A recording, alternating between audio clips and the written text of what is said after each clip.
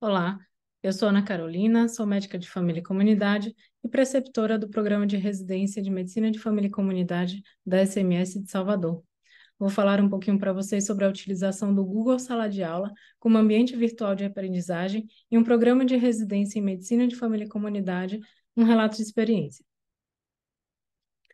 A Comissão Nacional de Residência Médica institui que 80 a 90% da carga horária de um programa de residência em MFC seja no formato de treinamento em serviço e de 10 a 20% de conteúdo teórico prático. Diante da pandemia de, da Covid-19, em 2020, nosso programa precisou recorrer ao uso de recursos digitais como alternativa às práticas pedagógicas tradicionais. Então, a partir disso, nosso objetivo com esse trabalho é compartilhar com vocês a experiência da utilização do Google Sala de Aula como ambiente virtual de aprendizagem e um programa de residência em MFC.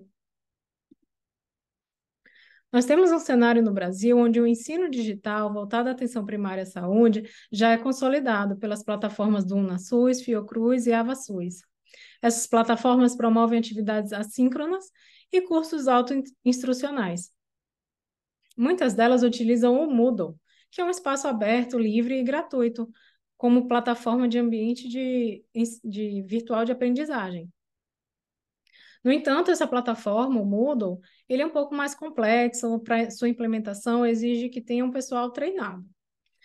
Então, como alternativa, a gente conseguiu encontrar o Google Sala de Aula, também chamado de Google Classroom, como alternativa para é, o Moodle, né, como alternativa porque ele é prático, ele tem uma navegabilidade intuitiva, é de fácil gerenciamento e é integrado a outros recursos Google, como o Drive e o Forms, que são bastante utilizados. Eu trouxe essas imagens para exemplificar como que fica a plataforma depois da sua personalização. A gente pode colocar uma capa, a gente pode escolher algumas cores, e eu vou falar das funcionalidades adiante. Bom, a gente chegou à conclusão de que ter um ambiente virtual de aprendizagem é uma estratégia excelente para a gente promover melhor autonomia, protagonismo ao residente, além de dar mais flexibilidade a esse processo pedagógico e promove também metodologias ativas por colocar o residente no centro desse processo de ensino-aprendizagem. Uh, a gente também identificou que o Google Sala de Aula é uma excelente plataforma para um AVA, por ser um ambiente reservado, por permitir que os feedbacks sejam personalizados.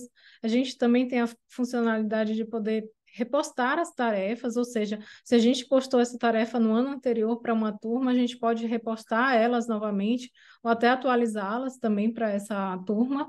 É, e também a gente pode programar, deixar já uma data é, estabelecida para a, o disparo dessa atividade aos residentes.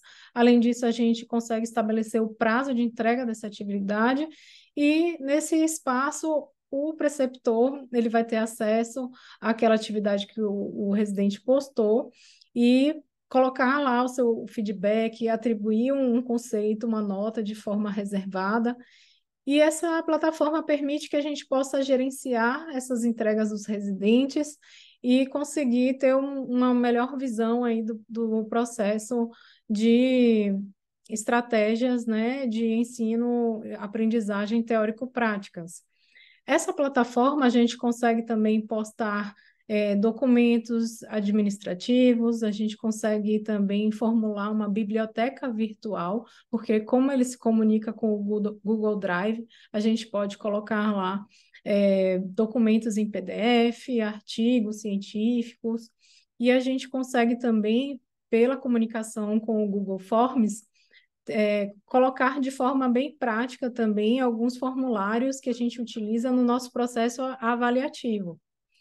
Então, diante disso, a gente identificou que o Google Sala de Aula é uma excelente plataforma para ser utilizada na aplicação das atividades teórico-práticas dos programas de residência médica.